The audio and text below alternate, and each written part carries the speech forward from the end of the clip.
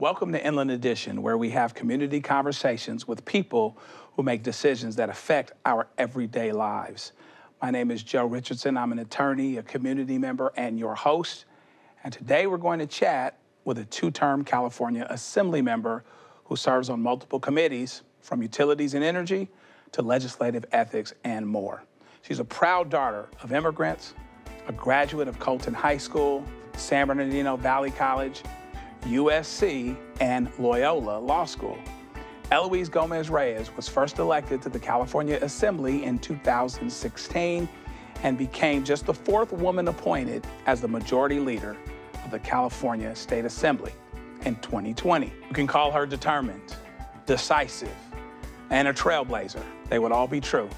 And it's time for you to see for yourself. Let's meet her.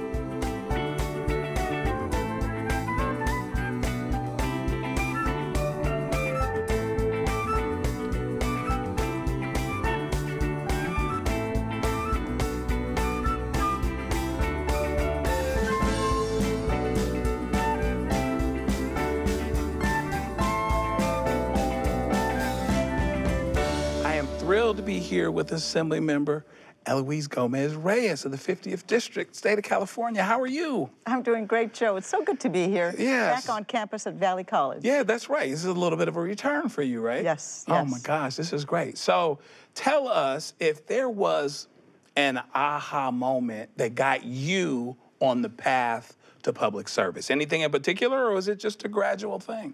I think it's more of a gradual thing. I think that's something that my parents instilled in us. My mother made sure that we served the community. No matter what it was that we were doing, we served the community. And I think it, rather than it being an aha moment, it was just knowing that I needed to serve. The capacity was, it was going to vary no matter what, but we always knew we had to serve. And it has varied, uh, among other things. You've been an attorney. Um, and so tell us the things that you came across uh, in your professional life that inform and kind of converge to make you uh, uh, the assembly member that you are for us today? You're right. I'm an attorney. I've been an attorney for over 30 years, served my community for those 30 years, volunteered with legal aid, serving, um, and represented my injured workers for so many years it's knowing how to read the, the laws, knowing how to interpret them, knowing how to argue them, I think helped me and informed me in what I do now. Uh, when I get new legislation, I get to read it as opposed to just telling somebody, tell me what it says. I get to read it and I understand it. I think it's informed me in a great way. Right. So, as an assembly member, give us a 101 because you know we're you know we have this education function here uh, kvcr inland edition. Give us a 101 on state government and where the assembly fits in the larger scheme. This is the best job i've ever had mm. i've got to tell you. So in, in government you have we have our local we have our state we have our federal. But within the state we have the assembly we have the senate and of course we have our governor so we have bills that are introduced, ideas that are brought in, and we introduce those. They make it through the assembly. They then have to go over to the Senate, make it through the Senate, and then onto the governor's desk. And hopefully, we have a lot of people supporting us, talking to the governor just as we are, to finally get him to sign off on it. but government, state government is so important, making sure we write the budget in a way that, that brings money back into our communities. It serves the state of California, especially, especially the most vulnerable. And then in our laws, making sure that they really do do something that is good for, the, for, for all of California. So, what is something that someone who hasn't done your job, something that they wouldn't know that you'd like for them to know? You have to build relationships. I may be the best person here locally and everybody thinks I'm just the best. But if I can't make friends in Sacramento, I will not be able to get my legislation through. I will not be able to get my budget items, my budget requests through. I have to, I have to get to know people and they have to get to know me. When I arrived in Sacramento, that was the first thing I did. Now, a lot of it has to do with my very dear friend, Senator Connie Leyva. She reminded me, you've got to know people, not just in the assembly, you better know your senators too. So I spent a lot of time getting to know everybody. And that makes a difference because when I actually needed some help from one of my colleagues, they already knew me. they knew I would fight for my community. And it's made things a lot easier. And I got to know them too and wanted them to, to be successful in all of their, the, legislation they were putting through. You became, uh, during your service, and you're still there, uh, the majority leader of the assembly, the first Latina woman to do so, I believe. Talk about representation, how important that is, uh, and the testament to bridge building uh, that uh, uh what you've done there, exemplified by, among other things, that particular position, about what that means. You're right. Uh, when Speaker Anthony Rendon appointed me in December of 2020, you're right. I was the first Latina ever to be appointed to that, to that position, and only the fourth woman in California's history. Representation does matter. And many of my colleagues in the Latino caucus and in the Women's caucus knew that they had a friend that was making the decisions now as majority leader.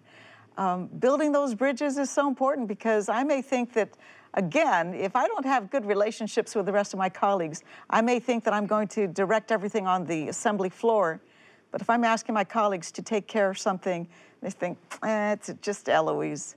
But if I have developed that relationship where we treat each other with respect, if I ask them to do something for the floor, on the floor, it's something that I know is going to be carried through for the benefit of the entire assembly so that things work smoothly, we get our bills through, everything is done in a dignified manner.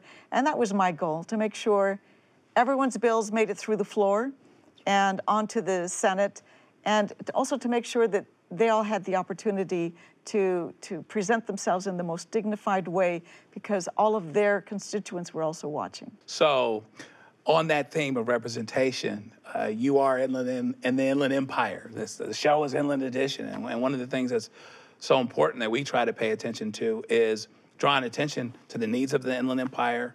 Uh, and you can start with the makeup of the Inland Empire, which is majority minority, um, et cetera. This large, huge land area, a couple of the biggest counties in America, but uh, perhaps a bit more neglected than they ought to be as it pertains to resources. So talk about the things that you do um, as a ambassador for the Inland Empire and how that figures in for both the Inland Empire in general and for its people who often are underrepresented representation matters, as we talked about earlier, um, but also making sure that we receive our fair share. Making sure that when the budget is put together, there are some things that are going to come to us because we're part of the state of California. But there's extra money we can bring into the to the community, specifically into our communities. Working with a partner makes a big difference. Knowing that, that the other representatives in the Inland Empire are trying to do the same thing makes a difference. So having us work together, uh, specifically here, I think in San Bernardino County, and my colleagues in Riverside County as well, to make sure that the governor, when he signs that, that budget, it's a budget that includes a whole lot of extra money specifically for the Inland Empire. And making sure that whatever projects we put together in our budget also are going to come, that, that money is going to come to the Inland Empire. One great example is childcare we finally we, we've had we've been fighting for this. The women's caucus has been fighting for this. And i go back to my my dear friend senator connie leyva she fought for this the whole time she was there. And i finally get to introduce the legislation that finally brought it to fruition. Um, we now are going to have $2.6 billion for child care reform. This is something that has been worked on for years and years, and I get to write the legislation for it. That makes me feel good not just for the state of California, but we have so many child care workers here in the Inland Empire that are going to benefit from a 25% increase in their salary.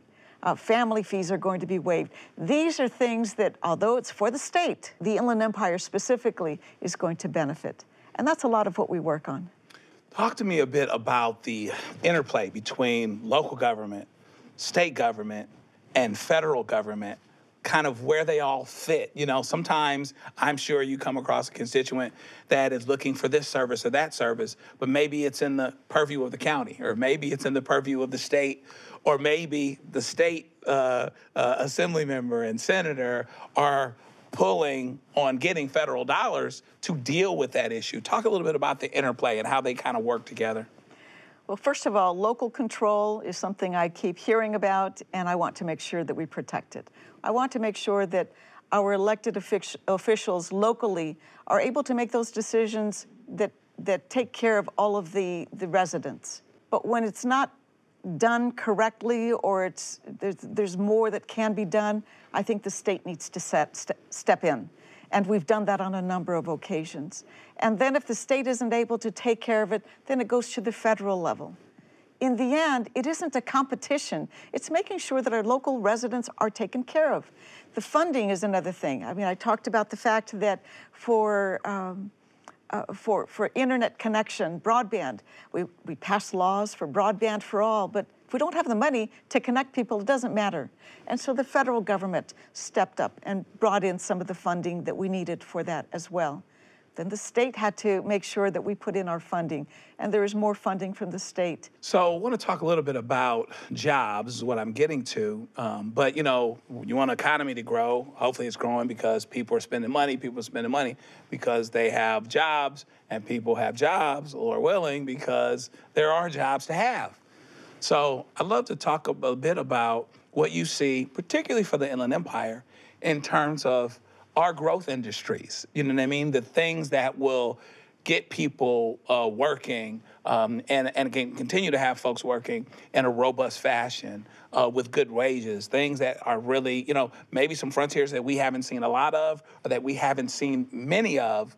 Um, I personally think, of course, an Inland Empire is really very much the engine for the state to go between its land area and its possibilities, yes. cheaper land, and some things like that. Talk about some of the areas that you would like to see uh, development, or maybe we have seen growth and development in. Health is one of the biggest areas. Um, hospitality industry, perhaps not as much. Uh, logistics is another area. I think that whatever area that grows, we have to make sure that we protect the people who are working there. Not just those who come in and say, I'm going to invest here. I want them to invest well and I want them to have a great rate of return. But let's make sure that the workers are also protected because it isn't enough to just have a job. You want someone to have livable wages so they can take care of all of their needs without having to ask for public assistance. That's one of the greatest disservices, I think, um, in, in our, not just in our community, but specifically in our community, where you say, well, you got a job. Yeah, but I can't pay my rent. Well, you got a job. Can't put food on the table. We need to have livable wages. Uh, we need for families to be able to send their kids to, to, to, to, college and do whatever it is that they want to do to take care of their family. Um, if it's just a job, it is in, it, it, it's, it's insufficient. It has to be a good paying job. So those jobs are here. Um, I, I, know that um, it may be a little controversial, but best jobs are going to be union jobs because you've got somebody fighting for you to make sure that that collectively you all have a good contract, you have benefits, you have uh, medical benefits, you have a retirement, and of course a good salary. That's important. And when you have somebody else fighting for you, things are a whole lot easier um, to be doing it that way. So th uh, those are two areas that I know have uh, have had great growth here in the Inland Empire. Let me ask you about, as a leader, uh, not only as someone in government, but as somebody recognized as a leader in government, I'm sure you bump up against the uh, premise of compromise.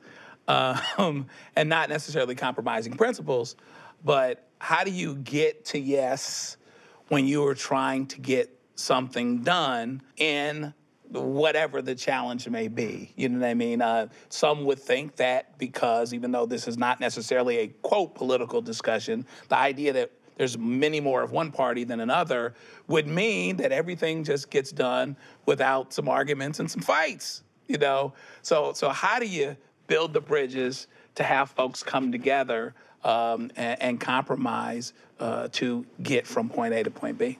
Something you said that's probably the most important is how do you get to yes? Yeah, sure. I, I, have to recognize, and that goes back to my early, my first year when I spent time with all of the assembly members and then with most of the senators, uh, to, to get to know them. What's important in their community too, not just what's important in my community, what's important in their community because there may be something I'm going to support in their community that to me, I don't think it's important, but it is to them. And I want them to recognize that when I ask for support in my community, it's because it's really important in my community. I want them to get to yes. And sometimes it is compromise. Sometimes it, it means that you have to talk to other stakeholders that you may feel like you disagree with everything they're going to say. But you want them to be part of the solution because there may be a few of our assembly members or a few senators, they look to them for guidance on those issues. And so I want to be sure that I'm talking to all of the stakeholders. And sometimes you have to give a little, but as you said, you never compromise the, your morals, of course, never. But you also don't compromise what the bill really is all about. You've got to get it to the governor's desk. Uh, mm-hmm. And it's got to be in a form that makes a difference and is very much in line with what you had first introduced. So, compromise is part of what we have to do. Um, and that comes from having those relationships so that you're not just asking somebody to compromise who they are at their core. You're saying, what if I amend the bill to include this? That takes care of something that's happening in your community. Those are the sorts of things that I think are very helpful. I had an 11th grade English teacher, Miss Arsenault. If she's out there, hi. um, and she used to say about every story, what's the dramatic irony? It would seem this way, but it's actually this way. The circumstances would suggest this, but in fact, here's where you ought to be. I want to talk about civic engagement. The whole idea is that, you know, you know, people go through a lot. You know, we're, we're coming off COVID. It changed a lot of folks' lives. People are struggling. You know, uh, California is not cheap. And it would suggest to many people that perhaps civic engagement is less important because it's not an, as much of a priority. But in fact, it makes it more important. Talk about that and, and encourage folks that when uh, circumstances may suggest that you run from civic engagement, or maybe it's disillusionment with what they're seeing on television. But in fact, we ought to be running to it. Oh my goodness, civic engagement is so important at every level. We want our kids at a young age to realize that their voice matters, to realize that their ideas matter. I have a particular bill right now that I that I introduced that came from the Girl Scouts here locally, San Gorgonio troop. They came to my office and said, "Here's an idea for a bill." I liked it. They had done their research. They went to Loma Linda University Medical Center. They had a doctor come in and talk about the idea. And it was about providing menstrual products for third through fifth graders because young girls are entering puberty at a younger age. Mm. I thought, I wouldn't have thought about that because I don't have a, a young daughter. But they had done their research. They were so involved and they brought the idea, they pitched it, and we, win, we went with it. Um, every committee it's gone through, whether it's in the Assembly and the Senate, everybody loves the bill. Our Lieutenant Governor has already asked if she could be a supporter, uh, uh, a sponsor of the bill. Of course, we've got her on. But it's these girls that came to talk to us about the idea. We have also had, uh, when my district was 47, we used to call it Policy 47.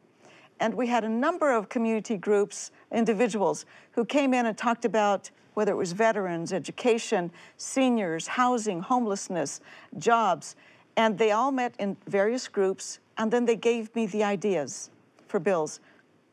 For education, the idea to require FAFSA to be filled out before graduation, that came from the group.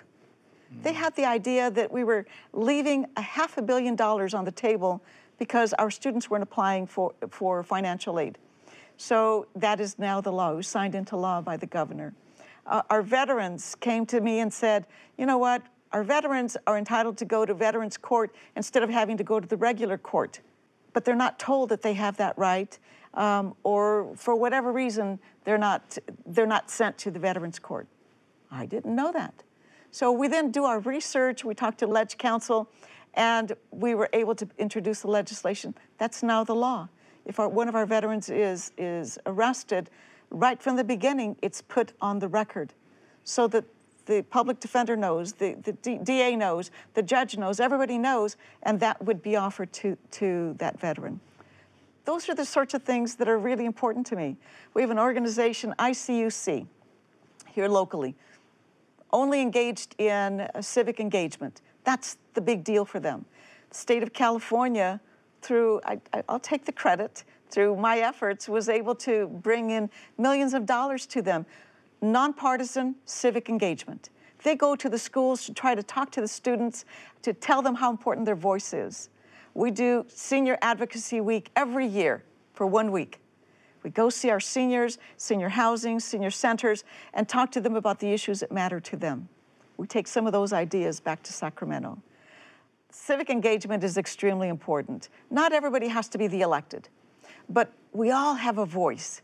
And that voice is important because it's that voice that's going to help us to introduce the legislation that may become the law that everybody else is going to follow.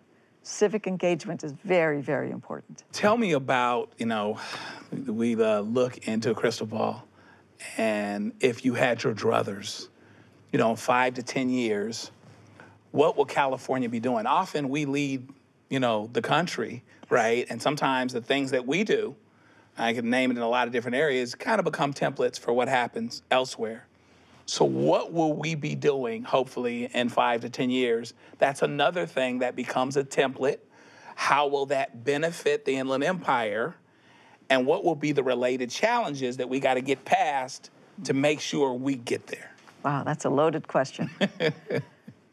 the future has to be a future that is equal for everybody. Mm-hmm. And right now it's not. Mm-hmm. Um, and we can't say, let's give everybody equal chances. That's not where it is. We have to, there are some people who are here, some people who are here. We need to bring those who are here up to here, and then everybody gets equal chances. Mm-hmm. But until we have equity, we can't talk about equality. So that's what the future holds to make sure that everybody has opportunities. I want all of our kids, all of our kids, to be able to have the same opportunities, to be told about a college program, to be told about a trades program, to be told how to become a journeyman, to be told how to become a doctor, to, eh, whatever they want to do. I want every opportunity for every child. That's not the way it is right now. Some are given greater opportunities than others, and that's okay. Keep giving them greater opportunities, but let's bring everybody up to those greater opportunities. And once you do that, then everybody can start growing together. But that isn't where we are. And I think it starts with our children. I want them all to know that they matter, that they are enough, that um, whatever they want to be, they get to be. Um, how do we get there? That's a tough one. A, a lot of it has to do with the very people that we hire. Uh, if it's people who, who are interested in our children, they're going to give it their all. And if they're doing everything, then we need to make sure that we fund those programs that are giving everything to the children. The government doesn't need to reinvent the wheel every time. Like if we're talking about homelessness, we don't have to say, well, let's put a program together and let's then open up this homeless facility. No, we don't need to do that. We have lots of organizations that are already doing it and doing it successfully. Let's fund those programs so that they can do more in the community.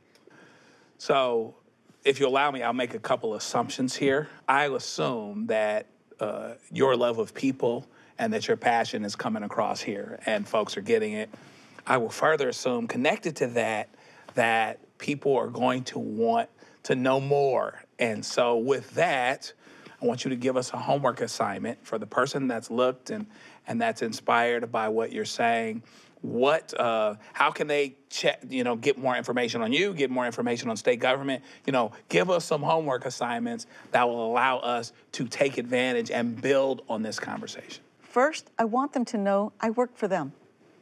I, am the state assembly member, uh, the majority leader emeritus. None of that matters. I work for my community. So my office is always open to, to the community. We're on Vanderbilt. I'm sure you'll put the address on there. And call our office. I have the best staff, the absolute best staff. And they work hard to make sure that we take care of the needs of the community.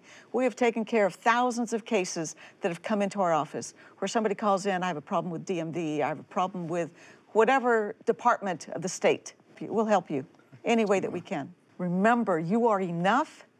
You deserve everything that the state of California has to offer to you. And we want to help you get that. So call our office. Let us know how we can help. And if you have an idea for something that will make our community better or the state of California better, reach out to us. We want to know. Your homework is to know that California is for you, the Inland Empire is for you, San Bernardino is for you, Assembly District 50 is for you, and we want to help in any way that we can. So your homework is call us. Let us know what your ideas are. Let us know how we can help. We want to be there for you. Fantastic. That's That's, that's, some that's some pretty good homework right there. I want to thank you, Assemblymember Eloise Gomez Reyes. Thank you so much. It was everything that I thought it would be, and, and I appreciate it. And I know that we're all running off inspired, doing our homework because we know that that's the thing to do. So I want to thank you for joining us again on Inland Edition. Keep joining us as we go down the road to greater understanding through uh, our public leaders and civic engagement, encouraging of both, uh, one conversation at a time. See you next time. Thanks.